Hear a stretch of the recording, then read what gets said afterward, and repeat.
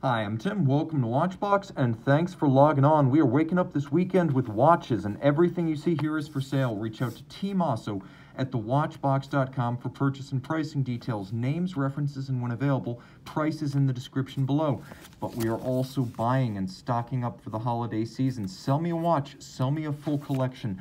No upper limit on value paid or highest prices of the year. Reach out to tmosso at thewatchbox.com to sell a watch. Let's go big a big piece from a big brand, a real heavy hitter. This is the A. Unzona Richard Lange Tourbillon pour le Mérite. 41.9 millimeters. It's not as big as it looks. It's big in a figurative sense. A timepiece that includes a regulator dial, a tourbillon with stop seconds, an extraordinary disappearing panel like the rest of the dial, in sterling silver, galvanized this silver white color, and there's more because you turn it over and you get a fusee and chain.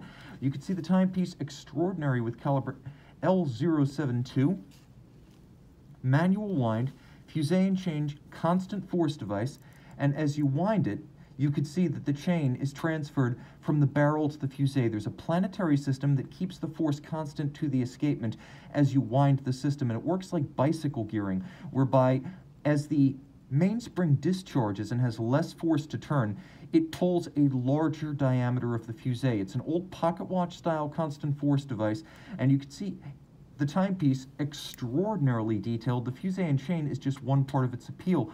Look how much black polish there is on this reverse side. Look at the engine turning in two different sizes.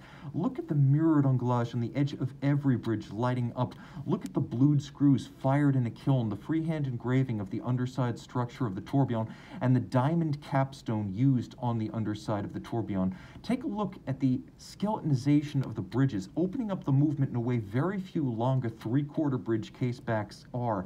Jewels set in chaton, pivot jewels that is, pocket watch style, and then that nickel copper zinc alloy we call German silver with the copper giving it that golden hue. The timepiece features an extraordinary tourbillon carriage, and I'm going to get as close as I can. You can see it too is black polished as well as beveled. It's free sprung with an overcoil hairspring, and it is one of the few tourbillon regulators that has a stop seconds function for precise setting. There's a triple overlapping Johann Seyffert scale, that's what that's called. It's not a Venn diagram, and on the wrist, 16 centimeters in circumference, the watch wears really nicely. It's large for a Lange, but it's not large, and under 42 millimeters, you might be surprised at how compact it wears on even a smaller wrist. 40, I would say 14 centimeters circumference and up you can wear this watch. It also features a rare for Lange full deploying clasp, something that is scarcely seen even on the brand's flagship complications. Now jumping to a watch that represents, for a lot of folks, something approaching the ultimate current production Rolex. This is the 126719, and it is the BLRO. The Pepsi Meteorite, as launched in 2019, this watch, as you can see, features a little Rolex crown between Swiss and Made.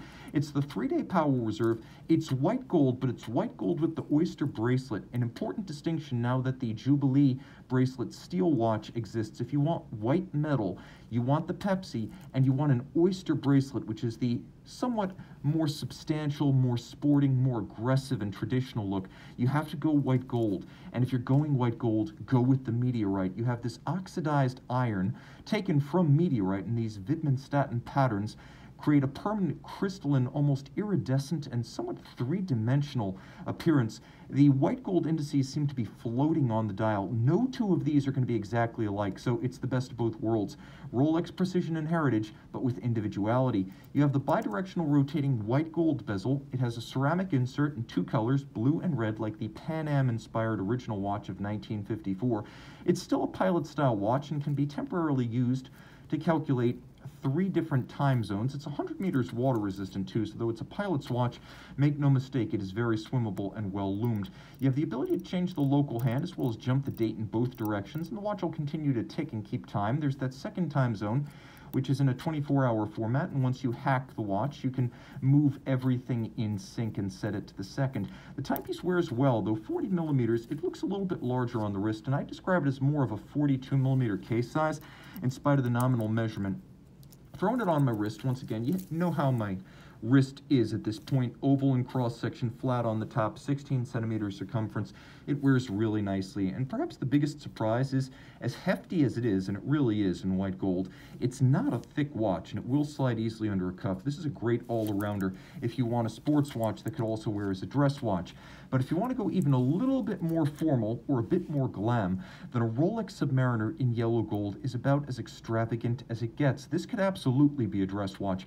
And Rolex is one of the few brands that can manage to build a full yellow gold, full bracelet sports watch without seeming garish, nouveau riche, or arriviste. The timepiece looks refined, sophisticated, even somewhat sober with the combination of the black and the yellow. Cornish colors, of course, or Pittsburgh Steelers, but very traditional as Rolex has never abandoned yellow gold. Along with Lange und Söhne and Patek Philippe, they're probably the foremost manufacturers of popular yellow gold timepieces in the modern era, and the sub in full yellow gold really looks the part of a flagship watch, a statement watch, and while the President may formally be Rolex's traditional power watch, a full gold, full bracelet Submariner is definitely in the running. When the stakes are high, this is about as high flying as it comes. This is a watch with enormous presence without enormous size. It's like the GMT, it's nominally a 40 millimeter watch. The timepiece is 300 meters water resistant, and a feature I love here is the glide lock system. So you have the ability to make these two millimeter incremental adjustments up to 20 millimeters. So there's a lot of flexible sizing in there. Now you can use that, of course, over a dive suit, but it's probably going to be used more often than not to simply adjust the size with your activity or inactivity, hot or cold weather. The clasp is a double locker, and of course, the case is fairly slim. We're just talking about 12.7, 12.8 millimeters, triplock crown, screw down, one of the best bezel detents you'll ever encounter. Have a listen to this. And of course, the bezel insert is ceramic. Let's do some lume shots now. We've had a couple of sports watches. Let's roll them through the light.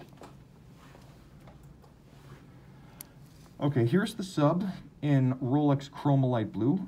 Fans will know that Rolex makes its own lumen. It's this distinctive cyan blue by night. I've got a couple that you might love, but probably won't guess. Do you have any idea what this is going to be? Or, for that matter, how this might appear by day. Let's turn the lights on and find out. And the answer is the mid-2000s Blancpain Le Mans Flyback à vitesse. The à vitesse models were three special editions, all of them extremely rare, created for a Chicago area retailer of Blancpain. So around 2004, 2005, three versions, the Réveil GMT, the flyback chronograph, and oh, I think the other one was a perpetual calendar chrono, were all created, and this model, built in 20 pieces in stainless steel, is probably the crowd pleaser, as the 38mm stainless steel flyback chrono is an awesome piece, universally wearable, formal enough to be a dress watch with a screw-down crown, plenty of lume, automatic winding, and 100 meters water resistant. This is a real sports watch. And when you throw it on the wrist, you can see it has presence without bulk. It's very short across the wrist from side to side, and you can see from overhead that this is going to wear well on a wrist as small as 13 centimeters in circumference. The watch has a lot of punch, and I'm happy to say that what at first glance appears to be fauxtina is not, as it's more distinctly orange in tone than the usually brown or ecru fauxtina. It's just a cool color combination. The dial is black, the accents are red, and then orange is dominant on the indices as well as the hands. If you look closely, you can see that one of the best details here is that the underlying numerals are actually white. So there's a little white border on the base of each orange Arabic numeral. You can also see there are little orange on white indices outboard and those red accents every five minutes. Roll the watch over, you can see it has a fascinating double-stepped bezel that is germane to these Le Mans models. And then on the reverse side, individual numbering. This is number one of the 20. Again, three different models. This one was built in 20 pieces, and you can see the caliber F185 on the reverse side, it's based on the Frederic Piguet 1185, but this is the flyback model. Gorgeous in its hand finishing. You can see the mirrored beveling on the edge of the rotor, as well as the edges of the bridges. There's engine turning on the bridges themselves, as well as the base plate. A little bit of Cote de Genève, and the watch, in fascinating form, features both alongside black polished screws, a column wheel, and the watch does include a vertical clutch, so all of the modern standards are present and correct. This is a really cool watch that comes with a matching stainless steel full deployment clasp. The size is perfect, the colors are gorgeous, the production is small, and technically speaking, aesthetically speaking, the watch delivers dial and case back both. But let's say you want to combine that full gold, full bracelet sub with the watch you see here. Let's up the ante. I mentioned that there was a perpetual calendar version of that watch. This is it, 25 pieces, rose gold. This is not from the Toute Vitesse line, but you will be able to see that the timepiece is the same 38 millimeter Le Mans case, has the same 100 meter water resistance, has the same basic chronograph base caliber, but we are taking it to the next level 25 pieces in red gold, not rose, not pink, red gold on the legendary Blancpain X71 interlock bracelet. Now, rolling around here, you can see that this watch remains just as wearable, but the level of luxury is stepped up, not by degrees, but by an order of magnitude. The dial base is a lovely navy blue. It features yellow on white indices and a few well-chosen red accents. Now, it is a perpetual calendar chronograph. You know this is a genre made famous by Patek Philippe, but you will not find too many automatic winding Patek Philippe perpetual calendar chronos. You can also see here that the quality of the finishing is excellent, and this caliber F585, as with the Toute Vitesse, column wheel, vertical clutch, but with a perpetual calendar system, so you need not adjust until the year 2100. It can deal with leap years, it can deal with irregular length months, and as you can see, this watch on the full bracelet is incredibly grand. But again, it's not overblown. It's not trying too hard. The size is chaste. The details are beautiful. You get the most out of this watch when you get close to it. It's not something designed to be noticed across the room. Only the connoisseur with a sharp eye will note this traditionally sized watch from a connoisseur brand. It is fantastic. And again, being loomed, automatic, and fully water resistant to the point that you can swim with it, this is a real all-around high horology sports watch option.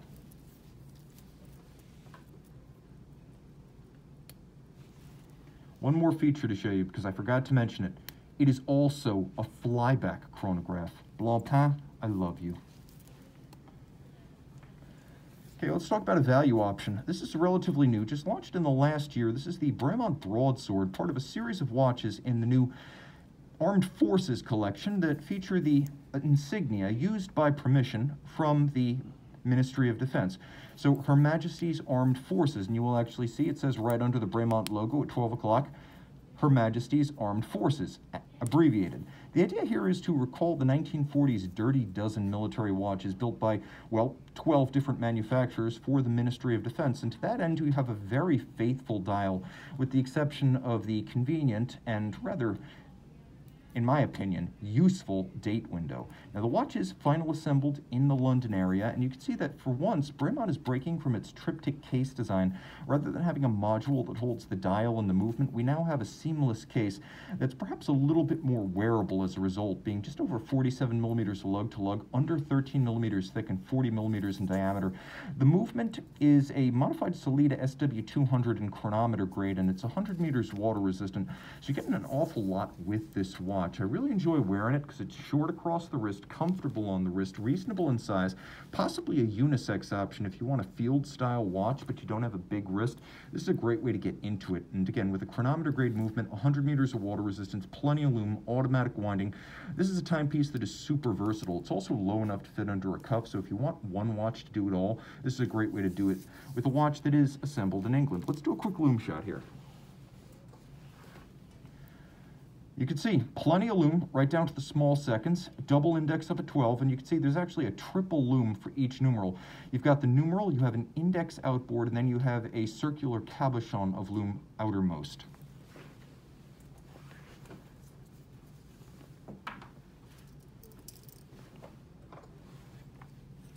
Leading in here with the loom shot, I wonder if you guys can guess this one. I'm going to go out of my way and say you know the brand, but you don't know the model. Are you ready? Here it comes. This is the Sinn UX. Do you want a 5,000 meter water resistant sports watch? Boom, here it is. A timepiece 44 millimeters in U-boat steel. It's between 400 and 450 Vickers in hardness, and it is so anti-corrosion that it can effectively encounter chemicals and salt with no need for rinsing. So anti-corrosive that it's comparable to Rolex's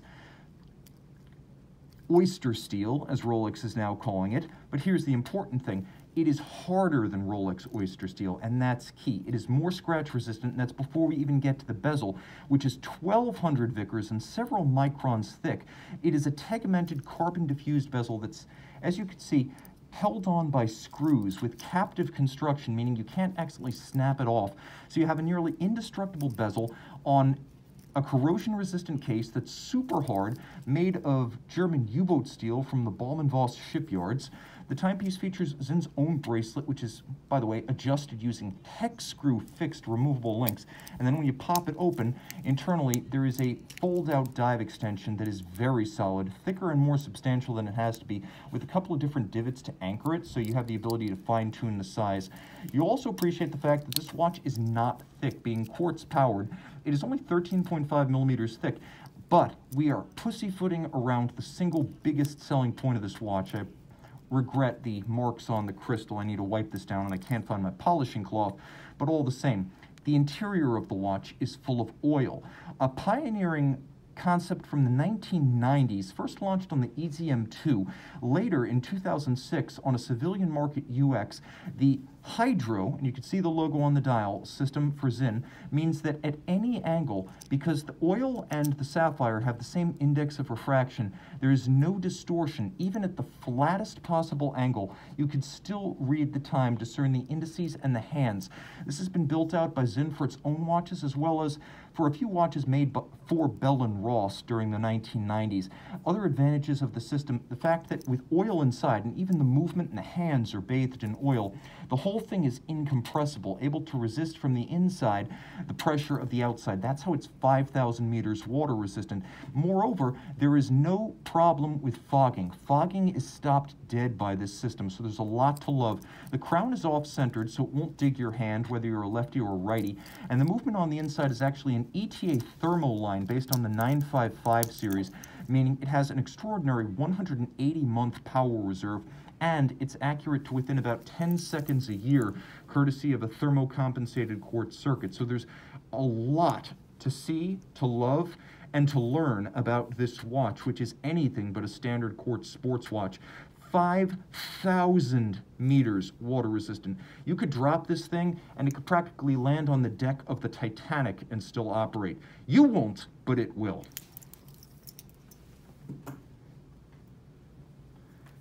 Now we're going upscale a little bit. Two different sports watches from FP Journe. Let's start with the older of the two. Fully loomed 42 millimeters titanium and discontinued. This is the Line Sport Centigraphe Sport, taking the same basic mechanism that won the GPHG Aiguille as the Centigraphe Souverain, and that is the grand prize at the Oscars of watchmaking. That was just about four years prior to the start of the Line Sport collection, which in 2011 became FP Journe's integrated bracelet sports watch series, the Centigraphe, mechanically identical to its predecessor, gained a integrated lug and bracelet profile. You can see the rubber bumpers have done their job over the years, preventing any disfigurement of the metal itself. This has held up well, and in the end, I have to say I'm a fan of the rubber bumpers. The integration of the bracelet and the lugs means this is not the case from the Centigraphe Souverain. This is a sports case with a different look and a different feel. The dial is a I would call it nickel anthracite with applique numerals, and you can see them. They're actually three-dimensional. They're blocks of lume rather than printed features.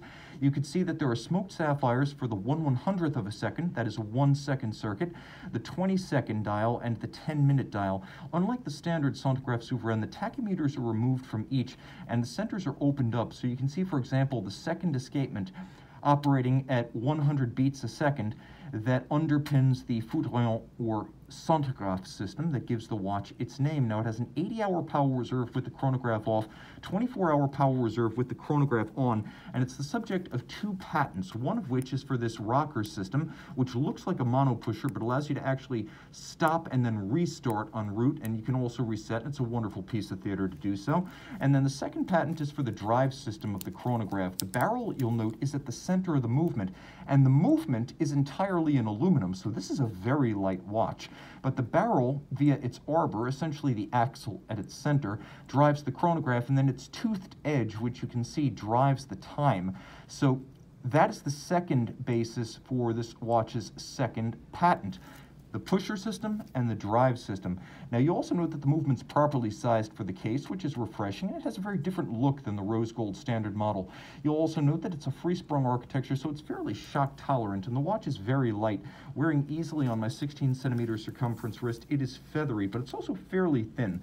So if you wanted to wear this watch as your only watch or your dress watch, you'd certainly be within the realm of reason. This is a timepiece that I could see on a wrist as small as 13 and a half centimeters circumference, and we're gonna do a loom shot because I promised you that this watch is well loomed. There you go right there. Loom on the Centigraphe Sport 42. And now we jump to the chronograph Monopoussoir. This was the last of the three versions of this watch to launch and actually came out rather than late 2017, fairly early in 2018, and the timepiece is 44 millimeters, but only 12.2 millimeters thick, so this platinum model with blue mauve dial is broad but flat, and it's the combination of the chiseled platinum case with the color of the blue mauve dial that really makes this the best version of the Mono Pusher Sport. You'll also appreciate that the dial features a couple of nuances that are easy to overlook at first glance. You can see that the numerals themselves are applique and precious metal. There's a wonderful frosting atop the hands as well as the bezel that features the chronograph minutes and the constant seconds. So you have a three-dimensional dial of a high grade. You can also see there's a double-digit date down at 6 o'clock, and that represents the return of the date on Journe chronographs for the first time since the Octochrono. The insert of the bezel is actually ceramic for scratch resistance, and you can see this is one of the original models with the rubber bumpers that do a pretty good job of protecting that hand-chiseled surface. The finishing here is exquisite. Journe watches are less about interior finish and more about exterior finish, and you can really see that in the bevel that runs all the way around the case. You'll also note that the chiseling here, which is manually accomplished, is gorgeous giving it a wonderfully soft and subtle glow rather than the flash and the shine of polished metal. The timepiece, of course, features a movement of Journe's own design. And if you remember the 2017 Only Watch mono pusher, you can sort of see where it comes from. A big technical difference between this movement and the others is that it features, or I should say between this and the Only Watch, is that this features a oscillating pinion. And you can see that adjacent to the chronograph structure, the retropont structure at center, there's a very small oscillating pinion that engages and disengages the chrono, and this makes for a much smaller jump to the seconds hand when you start the watch. So you'll note I, I start, I stop, I reset, but when I start, it's relatively smooth the way a vertical clutch would be, and that's the advantage of the oscillating pinion system over a traditional lateral clutch. You get the big, open, beautiful case back of a lateral clutch, but you don't get the jump and the stagger when you start of a lateral clutch, and this is a system that FP Journe first pioneered in the mono pusher chronograph caliber he created during the 90s for Cartier, seen in watches like the Cartier Tortue mono pusher. The rest of the movement, 80 hour power reserve, manual wind, 18 karat rose gold bridges and plates. And as you can see, the steel components of the chronograph have been handsomely beveled on their side. You can see them starting to glow as I turn the the watch relative to the camera, and then they've been satinated on their top. So beveling and satination with circular Cote de black polished screws, and the beveling on Journe bridges is getting better with time. It's beginning to look more mirrored and less machined. It's also a big, open, and beautiful movement, so you can see all of that for which you've paid. Let's throw this one on the wrist and get a sense of how it fits. I mentioned it's flat, but it's broad. At 44 millimeters, all in platinum, this is a heavy watch, but the bracelet nicely counterweights it. And once again, I really can't overstate two facts. This is the best version of this watch, and the rubber bumpers preserve the finish. They also provide a nice tonal contrast, so for me, this is exactly how I would want mine.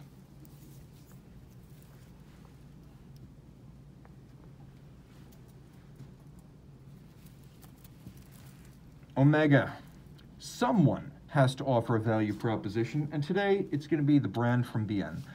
This is the Omega Speedmaster Orbis a 2017 special edition designed for Orbis International as a charity benefit piece. Orbis is best known for its roving, world-wandering eye doctors who make a specialty of treating children and one of the keepsakes often left with the children they treat teddy bears. So you have a teddy bear skeletonized counterweight to the seconds hand. You have Orbis blue on the dial. You have the Speedmaster signature in blue. There's a lovely anodized blue inboard chapter ring that represents the tachymeter insert. And you can see how there's a notch outboard of every numeral on the tachymeter. And this notched appearance, or I suppose we should say cut appearance, we'll call it the guichet tachymeter, it's rather reminiscent of Rolex's engine-turned bezels. Now, when you turn it over, you see there is an Orbis teddy bear on the case back, and the Orbis teddy bear is polished, and it sits on a sort of matte honeycomb base that looks good. The Orbis logo displaces the hippocampus, which is moved to the clasp, and then inside the case of this 38 millimeter watch, you have the 3330, which is basically a Valjoux 7753 that's been given a power reserve upgrade, a free sprung regulator, a silicon hairspring, a chronometer certification, a column wheel actuation, and in every regard, it has been re-engineered to become Omega's own caliber. 52 hours of power reserve, a free sprung regulator, a chronometer certification. It has all of the refinements right down to the silicon anti-magnetic hairspring, running for 52 hours and glowing brightly in the dark. This is an all-arounder that's also 100 meters water resistant, so 50 meters more than a Moonwatch, and thus much more swimmable than a Moonwatch. A wrist down to 13 centimeters circumference will wear it well because it's less than 45 millimeters from lug to lug. So you can see overhead just how much clearance I've got on both sides of my wrist. This is a real cool piece. A memorable special series for a good cause and objectively good looking. From the guichet tachymeter to the blue of the sub-registers, which are ovalized, to the counterweight of the seconds hand, the memorable caseback, and the hot-rodded 7753 inside. This is a fantastic watch. But if you have more money to spend on your integrated bracelet sports watch, we throw the clock back to 2018 and the arrival of a watch that frankly I expected we'd see sooner. A Nautilus perpetual calendar, the 5740G, still 40 millimeters and remarkably slender. You can see it is wafer-like in profile. It has the warmth of white gold. And you can really see the difference between the warmth of that white gold and the pure white of platinum, especially the polished portion. You can see it when they're side by side. Now the other thing that's important to note here is that the dial is not the standard blue of the 5711. First, it's not a gradient. It's consistent from side to side and end to end. It's all of one color. Second, it is a brighter, almost iridescent blue. It has a, distinct metallic tone, so it seems to reflect a lot of light. There is a perpetual calendar system. The perpetual calendar is driven by a caliber 240 micro rotor, just like you'll find in a 5712, so the watch manages to remain thin in spite of its complications. Free sprung, silicon hairspring, micro rotor automatic, 48 hour power reserve, screw down crown, and 60 meters water resistance. So the watch is actually okay for surface swimming. Throw it on the wrist, you can see just how flat and flush it is and how well it wears. It's probably my favorite current version of the Nautilus, rivaled only by the 5990, just because that one has so much going for it as a sports watch and a versatile complication. But the everyday complication is the perpetual calendar. You can use it for dating emails, memos, correspondence. And the timepiece is absolutely distinct as it retains the thin profile of the Nautilus and the broad profile of the Nautilus. The 5990 is a little bit more of a mutation with a thicker case and a chunkier aesthetic. This feels a lot more like the 1976 Gerald Genta original. So if you're shooting for a 5990, or a 5740G, I really can't help you. I love them both, but objectively, there are fewer of these in the world. So if you want exclusivity and something with long-term prospects, this is the way to go. The timepiece is heavy. The bracelet is beautifully made. And one feature that I consider an upgrade versus other models is the use of a twin trigger deployant clasp on this watch. You can see internally the flourishes of the Calatrava cross, the high polish, the quality and substance of this component. This is the best clasp ever featured on any Nautilus watch. Oh my, Glashütte Original. I love you guys but you only have one true design icon, and this is it. This is the 2014 PanoMatic Inverse, the automatic winding version of the watch that originally launched at Baselworld 2008. All the actions on the dial side with this caliber 91, whereby you have a duplex black polished swan's neck regulator, a full balance bridge, each side freehand engraved, and then the German three-quarter style bridge is on the dial side. It really is an inverse movement. Now you can see it winds itself on the reverse side, but there's not much to see back there. 42-hour power reserve, and the action is on the front. We have applique registers for the seconds as well as the minutes and the hours. Then we have the panorama datum with true flush fit date and a quick set system. The timepiece is slightly loomed, so you can actually read it at night. And you can see that all of the fine finishing you would expect is on the dial side. There's beveling on the edge of the bridges, black polish on the swan's neck, fired blued screws, engine turning on the base plate, and Glashütte stripes on the dial itself. You can even see the violet of the pivot jewels, meaning there's a beautiful array, gold, silver, violet, and blue on this dial. It's a large watch, but not an overpowering watch, at about 48 millimeters lug to lug. It's fairly flat and fairly short across the wrist, and you can really see that to good advantage from these different angles. It'll fit underneath most cuffs, maybe not the tightest of dress sleeves, but many jackets and many shirts. You can also see that there's plenty of clearance on each side of my wrist. So even if your wrist is 14 centimeters in circumference, I recommend to give this one a try. Again, Glashütte Original is often looked at as a Lange knockoff, but with this watch, they caught fire in a bottle, lightning in a bottle, whatever you want to say, inspiration, and something truly original for which there is no Lange equivalent. This is the face of the GO manufacturer, and they truly are a manufacturer. They are making all parts of the watch. A great way to get into German watchmaking with an iconic model to boot.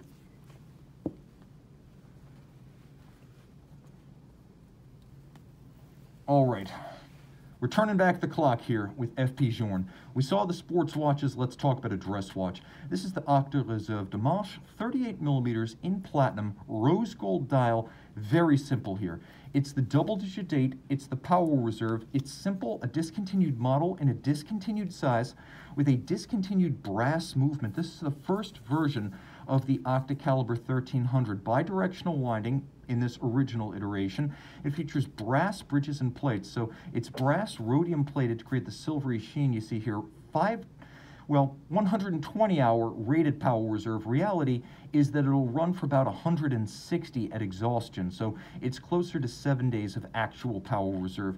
The timepiece is one of the first 12 made. I can't show you the serial number, but I can tell you it's among the first dozen. You can also see that it's a French-made Eleanor case because the maker's mark of Eleanor as well as the French hallmarks are on there, and that's because prior to 2008, Journe cases were made by Eleanor of the Paris metropolitan area, his original case supplier back to his pocket watch days. So discontinued size, model, brass movement, and yes, case manufacturer. This is a fantastic way to get into what we call vintage FP Journe, collectible FP Journe, with a timepiece that is really core to the collection. It's not one of those out there what if watches, a peripheral model, or something that represents discontinuity with his philosophy.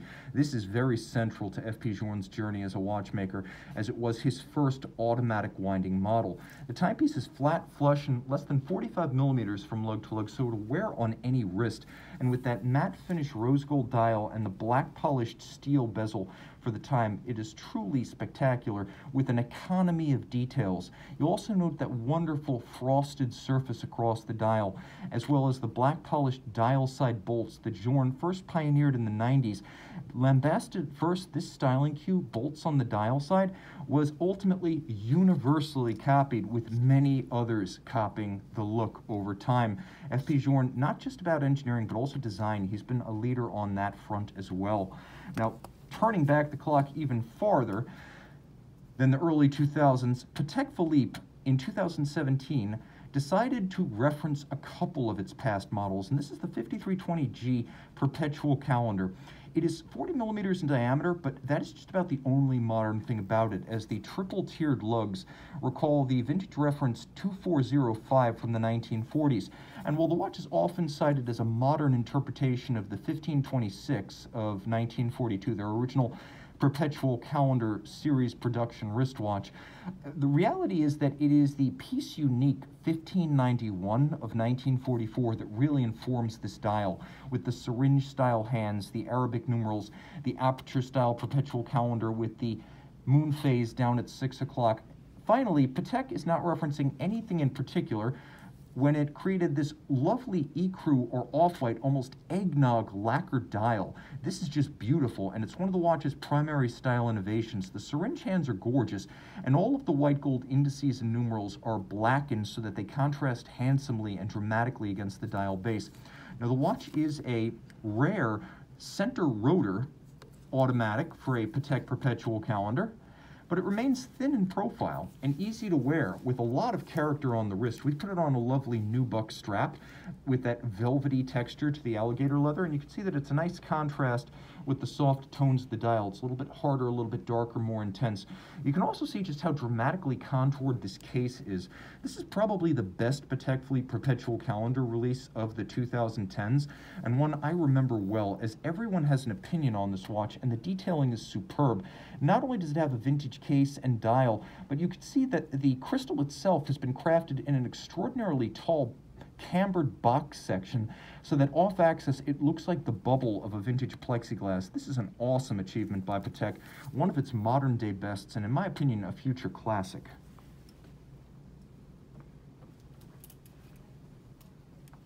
Okay, we don't talk much about Jerome de Witt on this show, but we really should.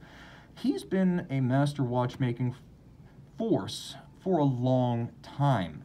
He was one of the original independents. And along with his wife, he is still in the game, running the company that bears his name and building fascinating complications. This is the Tourbillon Force Constant. It was a limited edition of 25 pieces made back in 2006. It is a platinum watch, 43 millimeters in diameter, that had an original retail price of $260,000. He was a little bit late to the party with the Constant Force Tourbillon, Lange got there first, and then FP Journe, but here's the deal. If you're going to be late, come with a new party favor. He uses a helical spring and a three-gear system to effectively create a remontoir d'égalité constant force device that's discharging into the escapement every 10 seconds. So the mainspring barrel, and the watch has a single mainspring barrel, that has a 72 hour power reserve, but as long as the system is running, the balance amplitude will remain constant. So just like the Pour le Mérite tourbillon from Lange in 1994, just like the tourbillon remontoir from Journe in 1999, this is a solution to the problem of maintaining constant force and constant amplitude in a tourbillon regulator. So secondary factors such as multi-position adjustment can allow the tourbillon to achieve its goal of precision recapping the original Abraham Louis Breguet gravitational minimization purpose of the tourbillon. So the timepiece is 43 millimeters with a remarkable case, a little bit like a Napoleonic colonnade, and this is probably the corniest part of the de Witt story, but he often claims to be related to just about every royal who's ever existed, most notably the line of Napoleon Bonaparte. That doesn't matter. What does matter is that we have a watch that cost over a quarter million dollars, is entirely handmade, features a novel constant force device in tandem with the tourbillon, and a remarkable proprietary aerodynamic balance structure. The three-day power reserve is impressive, but so is the finishing, as this one is technically and artistically worthwhile, with six position adjustment giving deviation and accuracy no position in which to hide. Very few companies adjust to six positions, as even the chronometer standard only requires five positions of timing. It is a large watch, but by no means an overwhelmingly large watch, and on my wrist, which you know well is 16 centimeters in circumference. The timepiece has a lot of presence, but again, it fits. It's short across the wrist. The lugs are really stubby. So though it's all in platinum and packs a punch visually, I could wear this on a wrist as small as about 13 and a half to 14 centimeters circumference. And yes, it comes with a matching deployant clasp. A very special opportunity to own a watch from a rarely recognized pioneer in independent watchmaking. This is the De Witt Tourbillon Force Constant. Now, let's finish with something so rare, I've never seen one, and you'll never see another. Made in five pieces from 1998 to 2000, this 2001 retailed Audemars Piguet Jules Audemars Tourbillon Repetition Minute is the reference 25937. 40 millimeters in white gold, we are talking about a five-piece series. A minute repeater with the tourbillon, extraordinary hand finishing, and diamond paved everything. The watch somehow pulls it off. First of all, there's a grandeur about this watch that has nothing to do with its color or its size. The white gold is cool, austere, appropriate, and nicely matched to the white gems. They're crystal clear, matched for color, character, as well as clarity, and the lugs, the bezel, and even the dial have been set manually, meaning not only is this a hand-finished watch, but it is an excruciatingly handcrafted watch in a way most Audemars Piguet timepieces today are not.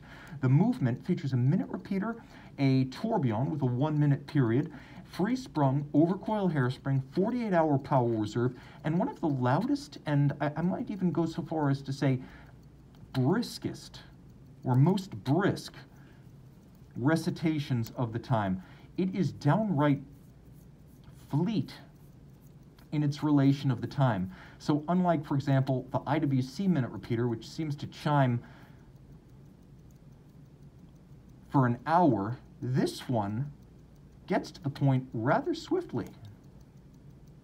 Do my best to get to 59 there.